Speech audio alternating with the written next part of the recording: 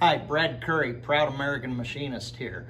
I am the instructor of the machine tool technology uh, courses here at Richland Community College in Decatur, Illinois. We have a long, proud heritage of machining here in Central Illinois, and Decatur is a manufacturing hub.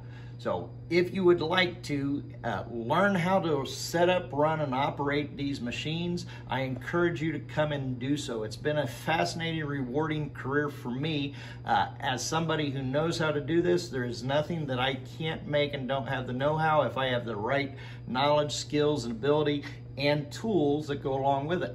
Now, as a machinist, there is an awful lot of stuff that I need to know. I need to know all about the different types of cutting tools that are used, the work holding methods, the actual machining and physics behind uh, how these machines start and stop and the operation of it. Now this is just a manual Bridgeport. It's been uh, used by machinists for well over 100 years.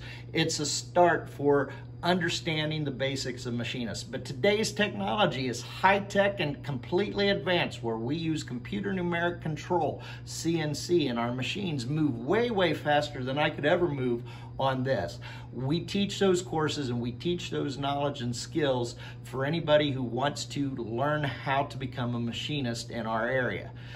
These jobs are great. They start out anywhere from 18 to $25 an hour, and it is a full rewarding career. So I'm in need of students who want to use their head, use their hands, and want to make stuff uh, and be a metal worker to join and come and join my classes. So classes start August 19th this semester. Uh, contact the college to see how you can get involved in becoming another great American machinist here at Richland Community College in Decatur, Illinois.